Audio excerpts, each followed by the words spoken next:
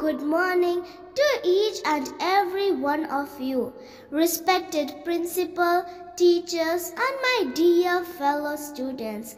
Welcome back to school. I am thrilled to welcome you all back to school. It's been a long and time apart, but here we are, ready to embark on a new academic year. Today marks the start of a journey filled with opportunities to learn, grow, and achieve. Our school is not just a place for academic lessons, but a community where we build friendships, discover our passions, and develop the skills that will guide us throughout our lives. Into our classrooms, let's remember the importance of perseverance and curiosity.